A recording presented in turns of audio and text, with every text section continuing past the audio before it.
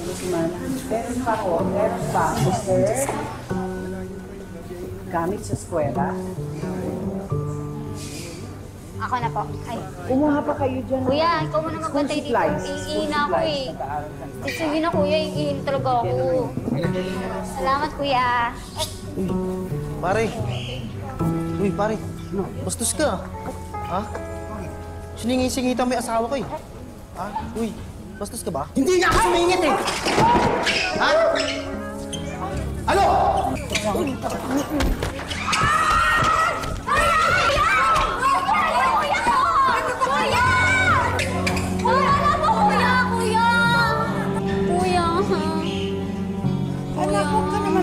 Sanang ganyan. Hindi pang pagkain. Tama na, kuya! Ako? Ako pa may gawa nito?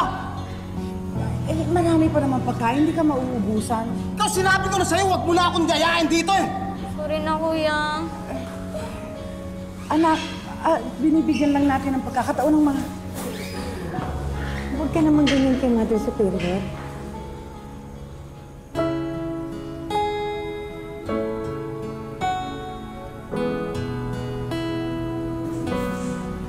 Okay ka lang ba, Mother?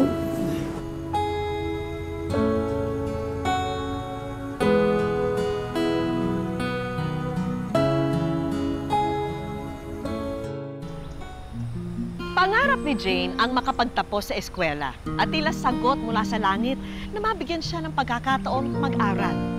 Pero ito raw ay may kondisyon. Kailangan niyang maging madre. Sa mga unang linggo niya sa kumbento, madaling nakasanayan ni Jane ang mga gawain ng mga madre rito. Pero hanggang kailan kaya niya kakayanin ang mawalay sa piling ng kanyang pamilya? Ate!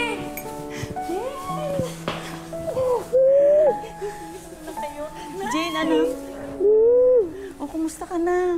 Parang nangangayayat ka. Kumakain ka ba na maayos? Ako, maayos naman po ako. Miss na miss ko lang talaga kayo. O, JR, akala ko ba na-miss mo ate mo? Ah, kamusta na ang kapatid kong pogi? Ate, Balik ka na. Opo kayo dito. Marami pa tayong pagkukwentuhan. Sige. Alam mo, kaya pumasok ang ate mo dito para makapag-aral siya. Scholar kaya siya ng mga madre.